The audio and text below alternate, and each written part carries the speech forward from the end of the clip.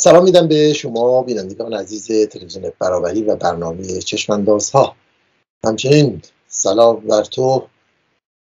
تغییر روز به گرامه منم همینطور به خودت و بینندگان گرامی سلام دارم. روزهایی که در واقع مسئله واکسیناسیون و قرمز شدن بسیاری از شهرها همچنان بسیارانی رو نگران می‌کنه که موج ششم در واقع این ویروس در سراسر کشور در حال گسترشه. همچنان دولت در یک تناقض بزرگ هست در چگونگی اجرای قوانین محدود کننده و حمایتی از قربانیان و از مردمانی که قربانی این جریان میشن. قیمت ها به شکل وحشتناکی در حال بالا رفتن و مسئله مداوای قربانیان کرونا به یک مشکل ملی تبدیل شده. در این حال شاهد دستگیری ها و فشارهای فراوانی به فعالان جنبش های بدنی و کارگری و اجتماعی هستیم. از زندانی شدن آرش گنجی عضو کانون نویسندگان ایران به یازده سال زندان و موج فراخانی فراخانی بسیاری از فعالان چپ و مدنی توسط نیروهای اطلاعاتی خبر هست. در این حال مسئله برجام مذاکرات اون و تعیین روز این مذاکرات علا رقم فشارهای بین بالاخره اعلام شد. خود این مذاکرات و تعیین چگونگی بحث ها و تفاهمات مربوط به اون مسئله که همچنان مورد بحث هست و مسئله خطر وقوع یک حملاتی حملات اسرائیلی یا غربی به در واقع تأسیسات اتمی ایران تأسیسات نظامی و مسائلی که می‌تونه حول هوش این جریان باشه. در این حال ما شاهد هستیم که در سپاه پاسداران آمریکا رو به تلاش برای سرقت یک محموله نفتی متهم کرده و گفته که از نه روز قبل نیروی دریایی آمریکا یک کشتی حامل نفت صادراتی ایران رو توی آبهای دریای عمان مصادره کرده و برخی این رو غیر واقعی دونستن. در این حال مسئله سقوط بورس و ضررهای هنگفت در این رابطه مطرحه که میشه گفت که موضوعی که نشانگر موقعیت وخیم اقتصادی ایران هست. در حالی که ما شاهد بسیاری از قارتهای بزرگ هستیم و تخلفات بزرگ خامنه ای هم طی یک حکم حکومتی یا تذکری خواهان این شده که نام مقامات در ارتباط با این مسئله مسائل اتهام ها نیاد و در واقع تا حد زیادی متخلفین رو زیر چتر حمایتی خودش قرار داره متخلفینی که همه در واقع از شرکای حکومتی ایشون محسوب میشن. اما با این تحولات نظامی در خلیج فارس و دریای عمان آغاز کنیم. ارزیابی شما از این قضیه چه هست؟ ببینید ماجرا که اتفاق افتاد خب اصلا معلوم نیست که سرتش کجاست. یعنی یک باره اعلام میشه و حالت این که حال فیل هوا میشه و اگر مثلا دو سه هفته پیش اتفاق افتاده چرا تا حالا نگفتید؟ دشمن که انتظار نیست حالا قول اونها که حقیقت بگه شما که حقیقت رو میگید چرا اینجا نگردش خب اینا بعد سناریویی که ساخته شده سرهمبندی شده کاملا متناقض و شعارگونه و اینها از کاملا. بعد از یک طرف دیگه روایتی که اون طرف مقابل آمریکا مطرح می‌کنه از, از طرف اونا. از منابع مختلف اونا از جمله روزنامه ها مطرح میشه میگه اصلا داستان اینطوری نیست این دروغ کامله روایت اون طرف. یعنی می‌خوام بگم هیچ روایت واحدی هم وجود نداره. از یه طرف دیگه الان ما میشنیم که ویتنام اینا وارد صحنه شدن و 26 تا ملوان داشتن و با ایران دارن مذاکره می‌کنن. اصلا اینا رو خود حکومت نگفته که این مثلا این کشتی مربوط به ویتنام و پرچم اونو داره. چون با ویتنام متحده و جزو اون کشورهایی است که به هر حال همسو هستش از نظر خودش. نخواست اونا رو مطرح بکنه. از یه طرف دیگه اونطور که روایت های غیر رسمی هست یعنی حالا این دو تا روایت رسمی که اینطوریه. اون میگه اساسا این حادثه قبلا اتفاق افتاده آمریکا و سخنگویان اون و مدافعان و روزنامه که اون رو تفسیر می‌کنن. میگن که از قبل اتفاق افتاده و آمریکا اصلا صلاح ندیده وارد بشه فقط نگاه کرده به یه چنین کشتی که ده تا قایق تندرو سپاه اینا بهش حمله کردند و این داستانهایی که رژیم الان فیلم برداشته و داره پخش می‌کنه و داره شعارگونه پشت هم در راستانه ها همه جا و در صدا و سیما که ما در چه قدرتی چه ابهتی داریم. و حال بزرگترین قدرت مثلا فرمانده نظامی اومده صحبت کرده سپاه. کاملا شعارهای عجیب غریبی داده که انگار که مثلا واقعا جامعه ما چهل سال از این شعارها اشباه شده. الان حالا تهوع دست میده. ولی دو برابر قلیزتر که امپراتوری تصدیق کرده قدرت آمریکا رو. که تمام جهان رو گرفته 750 تا پایگاه داره. همه جا هست و فلان اینا. تا اونجایی که تونسته آمریکا رو که تا حالا کوچیک می‌کردن در حال مثلا مثلا نابودی نیست داره زوب میشه انقدر بزرگ کرده که بعد اونو بزنه زمین و خودش رو بزرگ کنه. که ما چه کردیم؟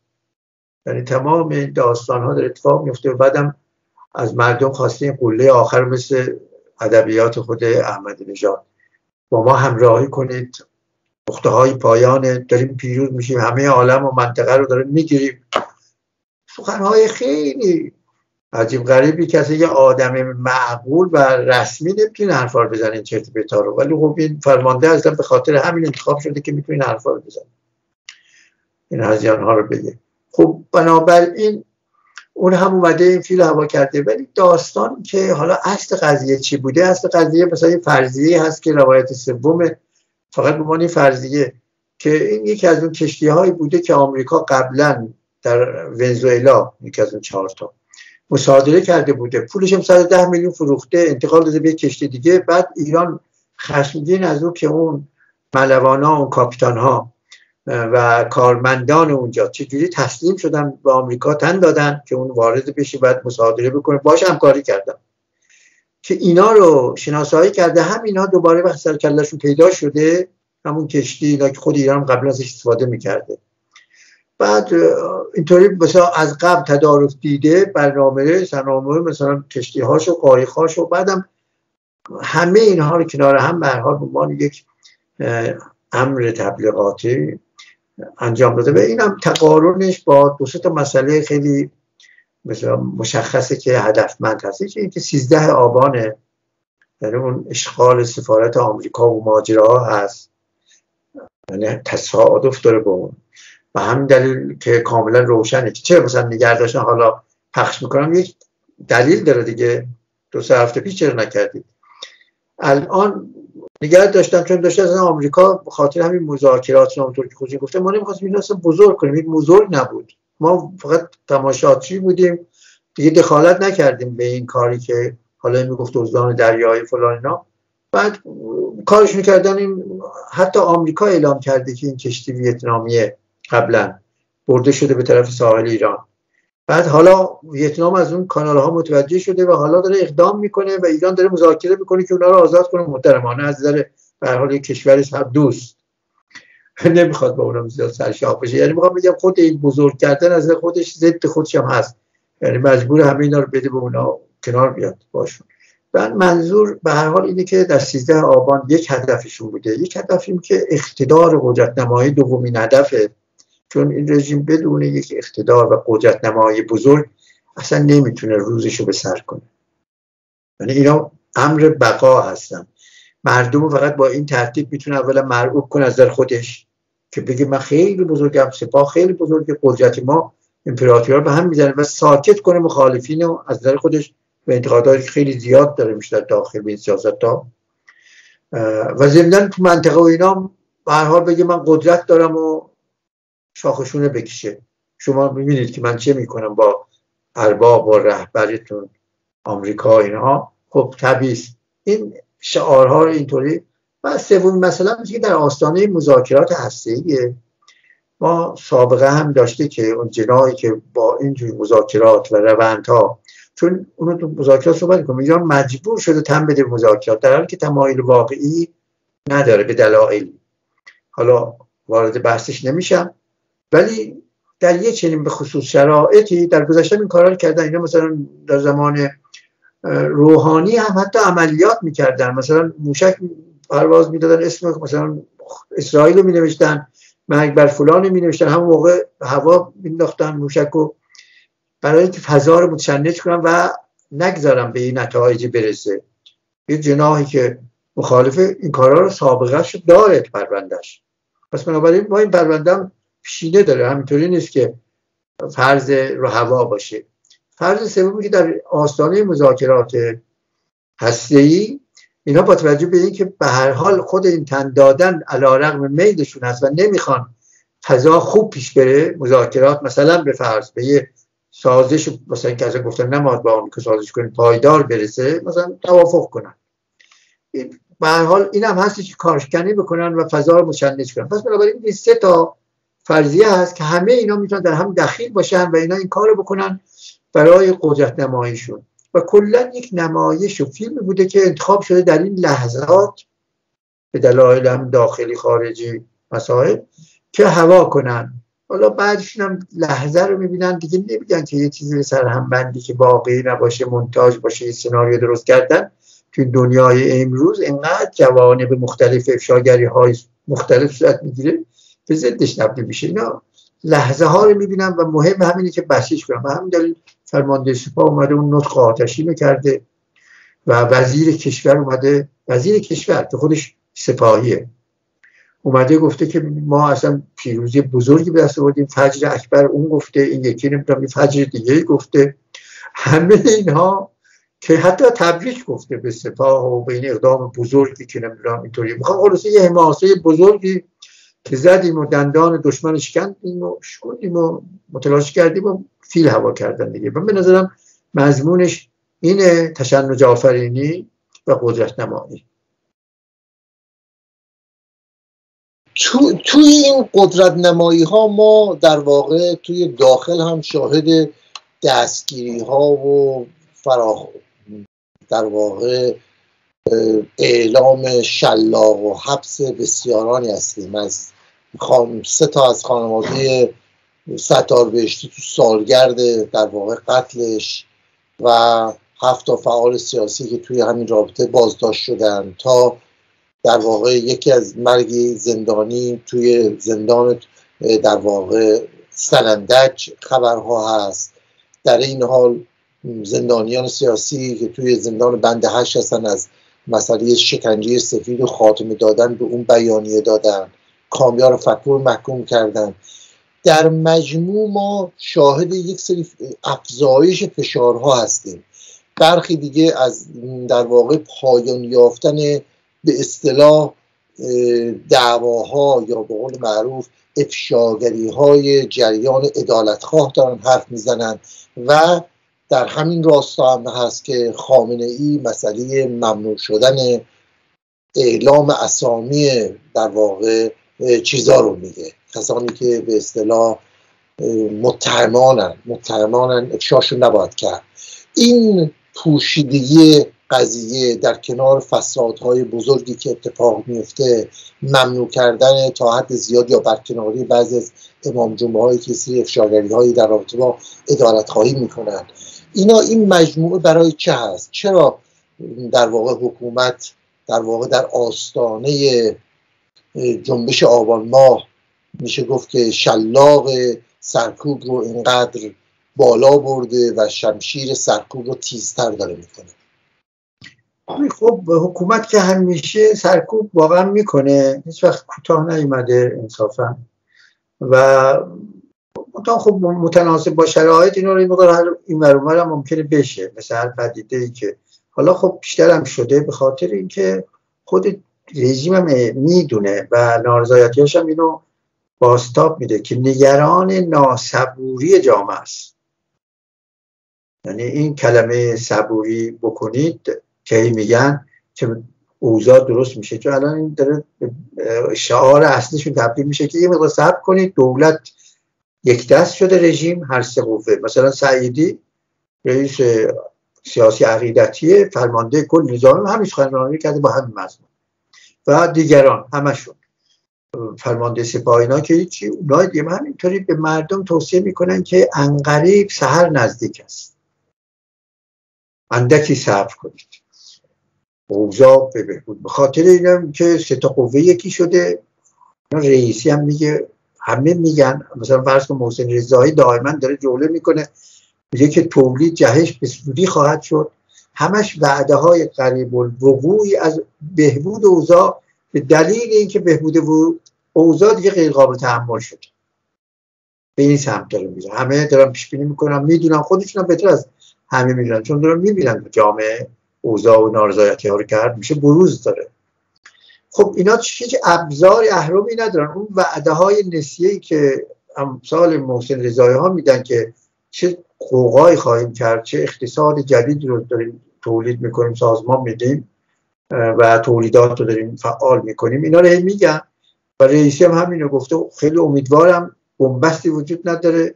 هم جدیدن دوباره اینا رو گفته. در حالی که قبلا شعار می‌دادن که ما وعده نباید بدیم. ما باید قبیله ما می‌توانیم هستیم و چون قبیله ما می‌توانی هستیم همه چیز باید انجام بدیم بعد بدیم حالا درست پیش از دیگران تمام کارهاشون تمام صحبتاشون وعده است همینطور که در مورد فامیلی و نمی‌دونم انتصابات اینا همش حمله می‌کردن به دیگران می‌گفتم ما سالمیم ما قدیسیم. ما معصومانی هستیم که اومدیم فساد و پاکسازی کنیم. حالا خودش از همون روز اول از زاکانی بگیره از فلان وزیر اقتصاد بگیره از همهشون داماد کارشون و نمی‌دونم نزدیکانشون و کسان اینقدر رسوایی شده که فشار اومد همین زاکانی رو وادار کردن که عقب نشینی کنه. بعد یکی از فرماندان روزنامه ها فرماندان نظامی از قولش نوشتن که ببین خوبیش اینه که این بالاخره پذیرفتش کالو و ما آدمای خوبی هستیم پس. زود اصلاح کردیم. حالا از پشت بهش فرمان دادن که اینجا با نسل این جای بدیه. زود عقب نشینی کن. رو چهره هستی و جلو همه می‌بینن اینا. فامیل بازی رو بذار کنار ظاهری. منظورم اینه که روزنامه مثلا جمهوری اسلامی هر روز داره سرمقاله میشه سر همین بیماری فساد که ما فهمیدیم که اون حرفایی که می‌گفته یعنی که انتصابات ها حالا به جای آقازاده ها همین. پس بنابراین اینا دارن همین الان تو فاصله رسوا شدن از نظر تبلیغاتی تو جامعه دست رو شده. اصلا جوانه مختلف داره شکست دارن می‌خورن.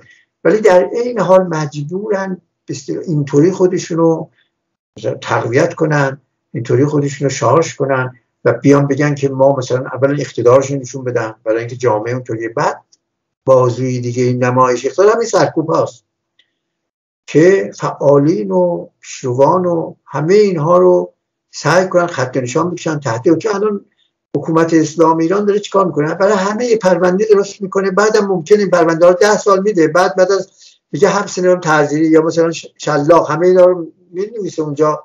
بعد چون هیچ کاری نکرده همینطوری گرفته. بعد اینها رو مثلا مرخصی بهشون میده. بعد یا مثلا فرض بعد از یه سال میگه برید بیرون تو از زندان اینطوری پر کنه بعد مردم ایران بیان اونجا همه زندان پر بشه. مثلا جا نیست. خب به خاطر اینا سعی می‌کنن برای همه پرونده شمشیر داموکلوس درست کنن بعد ساکت کنن. و همین دلیل این یکی از تاکتیکاشونه. فعالین رو می‌گیریم پرونده برایشون می‌سازیم بعد محافظه کارشون می‌کنیم. سوداشون رویاشون اینه. و این کار دارن می‌کنن هر روز. یعنی ما دائما می‌بینیم که این تاکتیک این سیاست رو به کار گرفتن که به اصطلاح هم زندان پر نشه هم هم اینها شمشیر بالا سرشون باشه. این راهی است که حکومت اسلامی کشف کرده برای ساکت کردن جامعه. و همین دلیلی که چون در بنبست به طور واقعی و خودشون میگن که ما بنبست نیستیم بیان همین واقعیت وقتی رئیسی میگه بنبستی وجود نداره ما قبیله فلان هستیم. این مسئله بیانگر این است که رژیم خودش می‌دونه بنبسته. به همین با اهرام فشار هم چیز دیگه ای نداره. ولی اون مسئله تذکر خامنه خب اون داستان دیگه است. اون برمیگرده به شکاف های درونی رژیم. به همین شکاف ها بپردازیم. توی این رابطه شکاف ها ما خب شاهد بودیم یه حملاتی به صافی گلپایگانی شد. موقعی که او خواهان شده بود که توصیه به اصطلاح حقیر این بود که با تمام کشورهای دنیا رابطه داشته باشیم و به جایی که قهر باشیم که صحیح نیست و به ضرر مردم عزیزه باید با اقلانیت و تعامل سازنده رابطه داریم با همه جهان. این باعث شد یه سری حملاتی هم به در واقع صافی گلپایگانی شد از طریق رجای نیوز و جریانات دیگه و نشون داد شکاف سکوت بخش اعظمی از روحانیت در قوم و اعتراض های خاموششون تا حد زیادی نشانگری یک سری جدایی ها یک سری به اصطلاح اختلافات جدی با دستگاه حاکم است. خب طبیعیه یک کلیت روحانیت یک سهم عظیمی از ثروت رو در واقع تو این چهل سال قارت کردن و تصاحب کردن. کشور رو به قنیمت گرفتن. تو این جنگ در برسر قنایم در واقع ما اختلافات جدی رو بین این جریانات در واقع می‌بینیم. خصوصا موقعیت خامنه ای و دستگاه بیت رهبری به گونه که حتی کوچکترین اعتراضات رو هم بر نمیتابه. شما ارزیابیتون از این شکاف چیه که بعدا می‌پردازیم به مسئله و قطعا این حکم حکومتی تو این رابطه هم می‌تونه تا حد زیادی نقش داشته باشه که بعدا در پایان بله، مسئله تذکر رهبریه یکی هم مسئله همین صافی گلپایگانی و این ماجرا هست که اینا به هم از یه جهتی ارتباط دارن از یه جهتی هم هر کدوم مثل مسائل خودشون دارن. ویژه هست. ببین در مورد این تذکر دست به اختیار یا اختیار به دستانی که خامنه قبلا هم گفته بود مجلس الان اومدن یه دی از این تندروانی که وجود دارن تو مجلس می‌دونیم اونجا طرفداران مصباح یزدی و تندروان و همین تیپای مثل داکانی و سپاهی ها و و چیزهایی که قبلا با احمدی نژاد بودن که با سپاهی اینا بودن همینا اونها هستن دیگه تو مجلس. نقش اساسی دارن. و بعد اینها شروع کردن به محاکمه خیلی وسیع تمام دولت مداران قبلی. از وزیر بگیر مثلا ظریف نمی‌دونم فلان وزیر اقتصاد تا خود روحانی و اینها. در حالی که هیچ وقت خامنه ای نه جرأتشو داره و نه اصلا منافعش ایجاب می‌کنه که اینا رو به طور واقعی محاکمه بکنه. حتی موسوی اینا هم که دستگیر کرد ده سال الان اونجا هستن حبس و بعد خانگی و اینها شده اینا رو محاکمه نکرد. حتی اونهایی که در جامعه قیام و شوره شده بود دیگه اینا رو محاکمه نکرد. تیپایی مثل محمد خاتمی اینا مغزوب اونا هم همینطوری می‌بینیم. در مورد هیچ وقت نمیمد روشنه. کسانی این تصور داشتن که گویا اینا رو محاکمه می‌خوان واقعی بکنن که این اصلا دست میگن تصویری که از رژیم و نظام و کارکردش دارن خب اون اشکال داره. اون معیوب اونطوری و رژیم اون کار نمی‌کنه که خودش با دست خودش بیاد آدم های مثل مثلا روحانی رو که 24 سال رئیس امنیت بوده.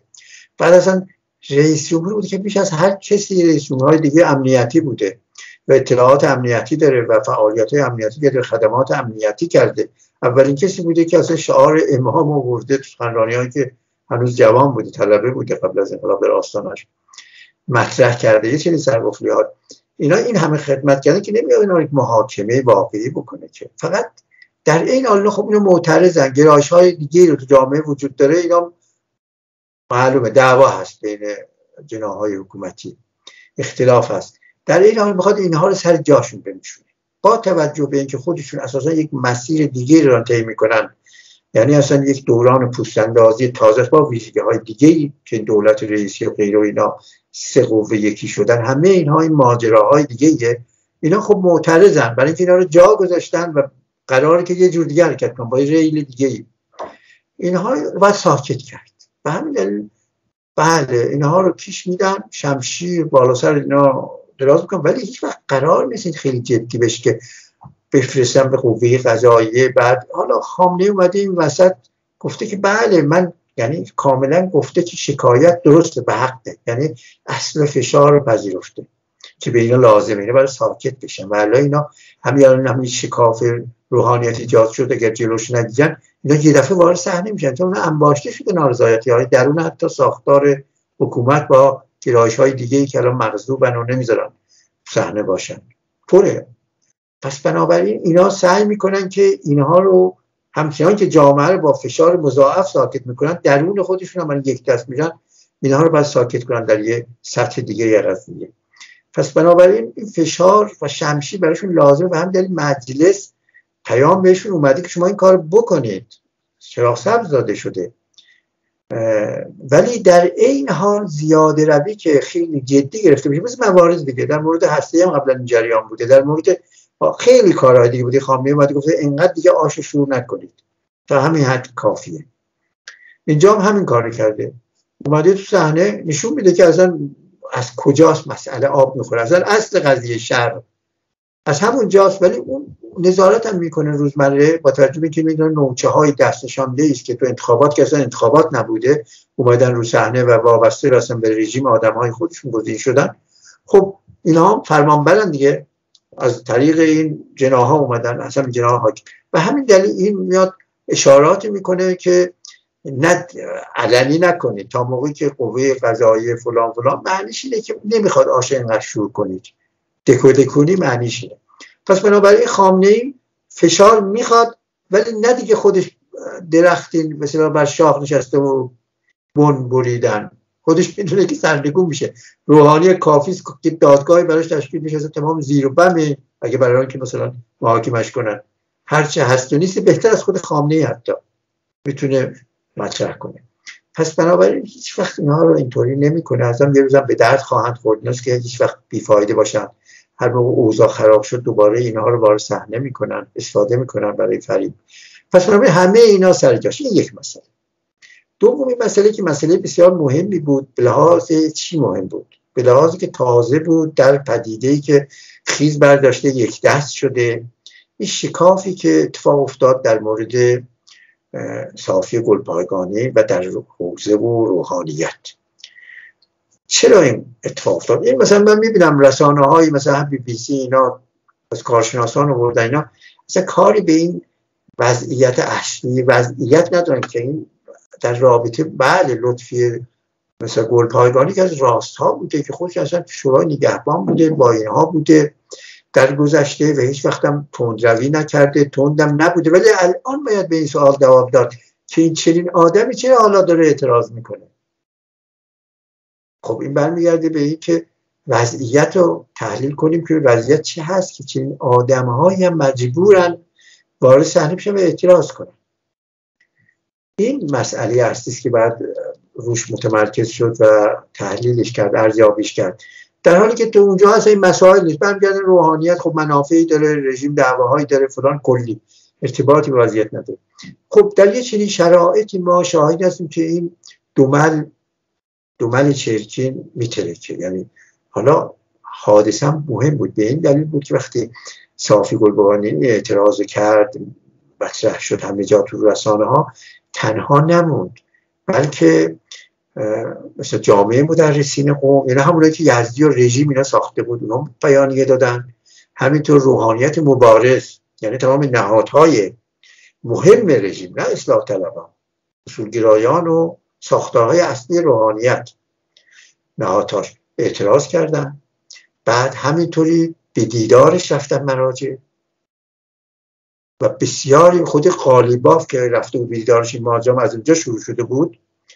چون قالیباف حالی که رفت قالیباف هم خاطری رفتش که معمولا این رئیس مجلس یک پاش قبلیه لاریجانی. یک پاش اونجا بود.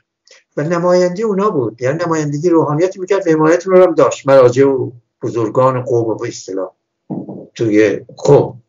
بعد این که نمی‌تونست اون نقشه بازی کنه از جای دیگه اومد. ولی می‌خواد همون نقشه بازی کنه. رفته بود اونجا اونم خب اونم فرصت دیده بود اون انتقاد کرده بود. مجبور شد همون بیاد پیام بیاره انتقاد کنه.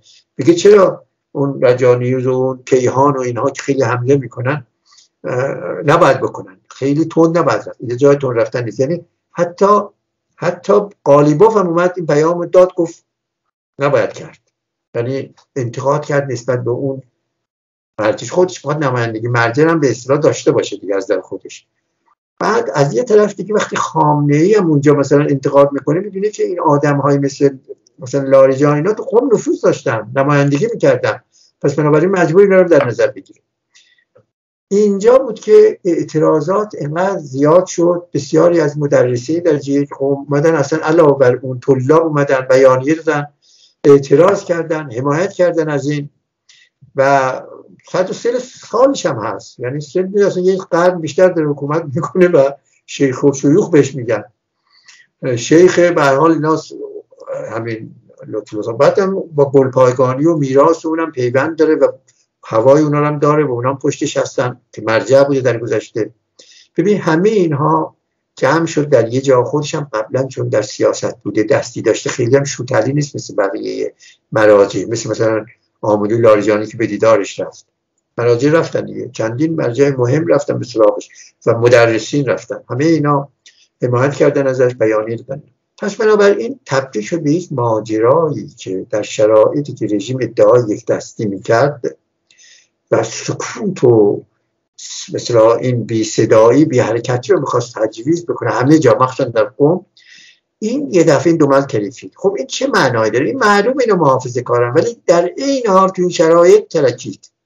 مسئله اینه. اینو باید جواب داد.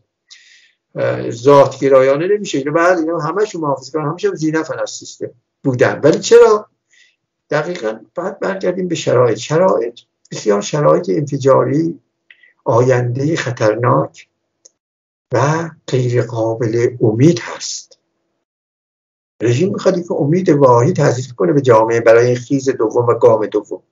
ولی این معلوم روحانی با قریزم شده نمی‌فهمن که این دوران عبور از خمینی و خامنه و پسا خمینی و پسا خامنه اصلا باید اون مرجعیت ها برای دولت بعدی نباید این جایگاه ها داشته باشن.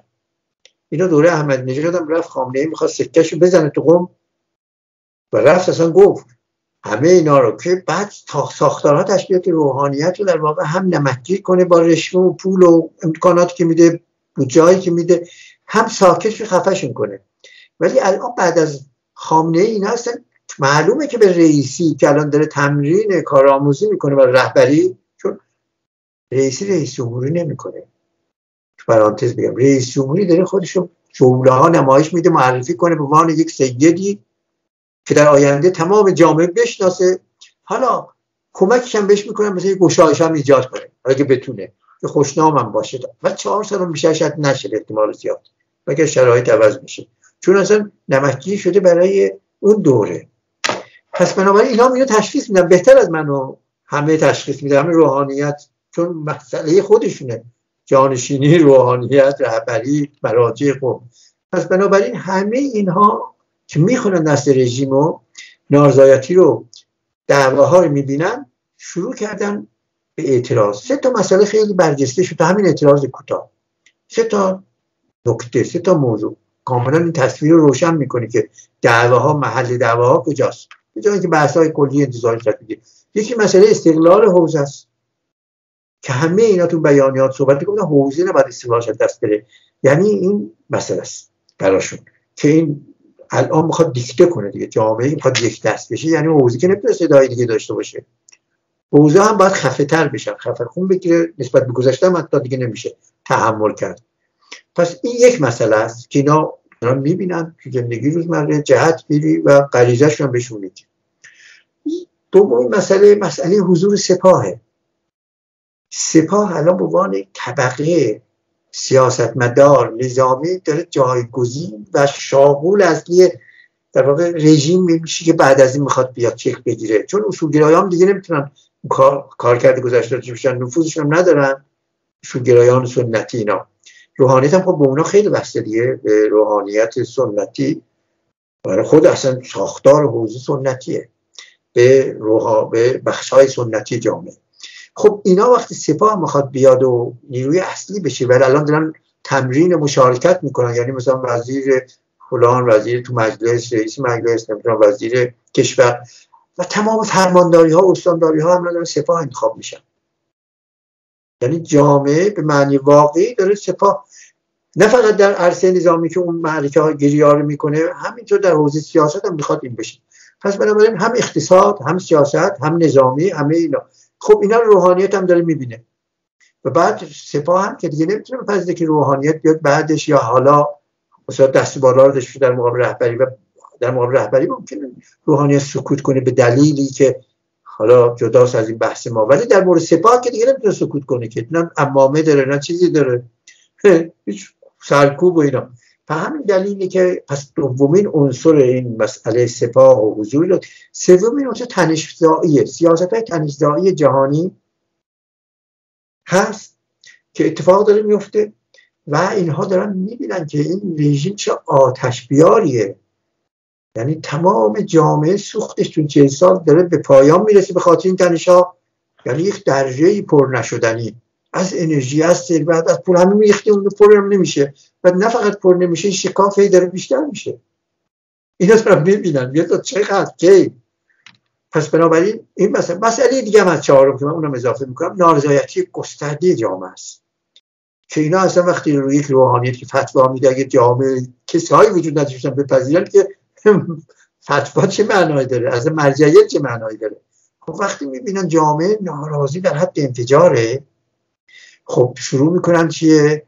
به قرض زدن به اعتراض تو این شرایط. و چون جاهای دیگه جای رخنه نفوذ نداره این رخنه موضوع در شکاف در بالا مهمه. و هم دلیل روحانی اومدن بلا فاصله صحنه روحانی تا دیروز اصلا سایه بود پیداش نمی‌شد جرأت نمی‌کردیم.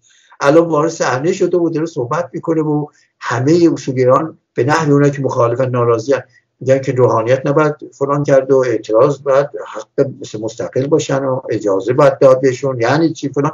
همه اینا دارن شروع می‌کنن. و همین دلیل رژیم هم مسلحت رو دید زود اینو درزشو بگیره. رئیسی اصلا صحبت نمی‌کرد که از نمایندگان مجلس اومد بهش تو رئیسی گفت چرا رئیسی موضوع نمی‌گیره اعتراض کرد و دفاع کرد از صافی و از این بسیار حرکت و چرا اینقدر تنجوی می‌کنیم و اینا. رئیسی پیام بهش داد که من موضع گرفتم ولی موضع خیلی به به علکی فقط به خاطر بود معلومه که اصلا رئیسی و خامنه بی اعتراض کناری می‌گذارن ولی در این حال نمی‌خوانم الان درگیر بشم. منتظر فرصت یه جای دیگه رو خاموش کنن ساکت کنن الان به صرفشون نیست چون دارن روحانیت همون سنتی رو تصفیه می‌کنن از قدرت.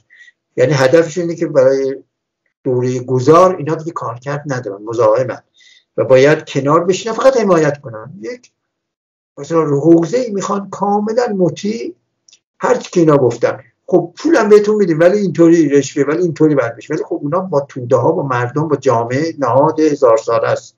روحانیت اینو یادمون باشه روحانیت اینطوری نیست که امروز به وجود اومده باشه. و هم دلیل منافع دیگه هم داره دیگه نه؟ منافعی که بتونه تو جامعه پایگاه داشته باشه برای خودش یه دی مرید داشته باشه رسالش بخش بشه. اجرا اینا دیگه. پس بنابراین اینا وقتی می‌بینن میخشکی خب نارضایتی ابراز می‌کنن. ولی خب نارضایتی از اینا در نمیاد. از اینا فقط در حد شکاف درون سیستم که جنبش ها بدونن که یک دسته افسانه است. و همین این افسانه داره میاد رو صحنه و معلوم میشه که اون شعار یک دستی که اینا ادعا کردن و شعارشون این همین رو میگن. مثلا افتخارشون که تیس قوه و هم نجات میدیم جامعه رو اقتصاد همه رو. این به باد میره. یعنی یه حبابی پا کردن که این اولین سوراخشه. سوزنی بزار شده. بعد دید ببینیم چه جوری پیش میره دیگه. در, در, در شکاف و اینها ما بالاخره رژیم ایران و کمیسیون اتحادیه اروپا بالاخره توافق کردن که هشتم نام آذر 29 نوامبر در واقع مذاکرات حضوری در بیان آغاز بشه و بالاخره علی باقری کنی اعلام کرد که این گفتگوها آغاز خواهد شد و این رو با انریک مورا تنظیم کردن. میشه کوتاه در این رابطه بگین؟ وقت داریم؟ یه سه چهار دقیقه. ببینید این مسئله برونسی اولا خیلی هارد داره میشه به خاطر اینکه اون شمارش معکوس زمان بندی شده و الان همه متراکم و قانونی داره میشه. یک مسئله. همشون هم هدفشون اینه که اولا رژیم حکومت اسلامی بندازن توی مذاکرات. این اینو مینداختن گردن گربه زنگوله رو و انداختن. از جمله روسیه و اینا خیلی فشار بردن چین هم فشار برد همه رژیمی که دفع وقت کرده نمی‌خواست هم بده. سومین مسئله اینه که رژیم اصلا مذاکرات مثل کسی است که شما رو می‌کشن به یه زیافت نمی‌خواد ببینید اونجا جام زهر هست. اصلا فرار می‌کنی. ولی میندازن دیگه. گردن تو انداختن و فلاینا آرام مجبوری بری. چون اگه نگی نری عواقبش خیلی زیاد. مالیات هست. به همین یه شعار گرفتن هم مذاکره می‌کنیم هم به هیچ وجه عقب نشینی نمی کنیم اینو اصلا رئیسی گفتن و در این حال که مذاکره می‌کنیم برای تحریم عقب نشینی هم به هیچ وجه نمی کنیم و مسئله ما مسئله اینه که همه چی باید نقد باشه همه چی باید نتیجه محور باشه. و بدون اینها هیچ چیز نمیشه. اون نتیجه محوری هم مثلا فرض کن چیزی توییت زده شمخانی خودش رئیس شورای امنیت و تصمیم گیری اصلی اونجا صورت می‌گیره. توییت زده گفته که بدون تضمین و تحریم رفیه ها اصلا مذاکره بی نتیجه این از قبل اعلام کرده. در همه آستانش.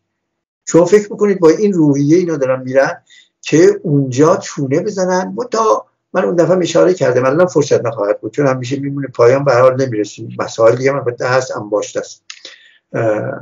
که چگونه رژیم قدرت مانو نداره. الان همون حرکت هایی مثل سپاه حمله کردن و فلان کردن همه این بخاطر اینکه موقعیت رو اینجا قوی کنن.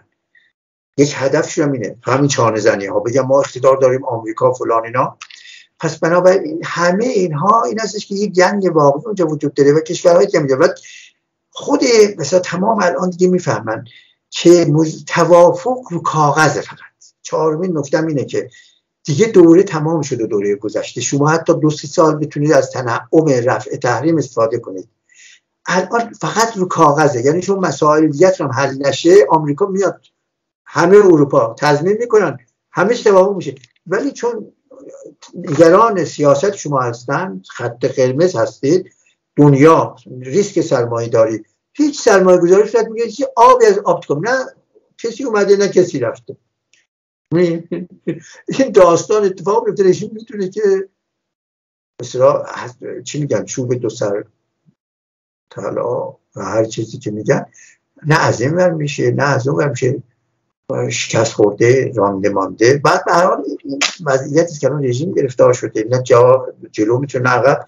ولی یه مانور کوچیک اونجا بود داره که رو مسائل مشخصی مثلا کنار بیان و می‌دونیم که یه چیز دیگه من اشاره کنم که همین الان این سخنگوی گفتش که ما 25 کیلو 60 درصد تولید کردیم در حالی که قرار نبود مجلس تولید کنیم. نمی‌دونم به ما گفتن اینقدر درصد ما 100 و 200 کیلو تولید کردیم یعنی جلو زدیم حتی از اون تحریم های مجلس. یعنی همه اینا قدرت نمایی است که در آستانه مذاکرات می‌کنن تحریک آمیز چه اون کشتی چه این که 60 درصد تولید کردیم بفرما همه اینها یعنی اینکه رژیم راه رو میبنده و راه رو از در خودش می‌خواد مثل اهرام قوی داشته باشه. ولی واقعیت اینه که به ضد خودش تبدیل میشه. شمشیر دودم نیست که بیشتر مظلوم می‌کنه. بیشتر همه رو به اینجا میکشونه که باید و هم در پلن ب نهایتا اینو بگم. خیلی فعال شده و داره فعال میشه و کما اینکه رئیس ستاد ارتش آمریکا اومد ایران ایران اگر بخواد به آمریکا یا همین کشتی های کاری بکنه حمله متقابل خواهیم کرد. این هشدار رو داد.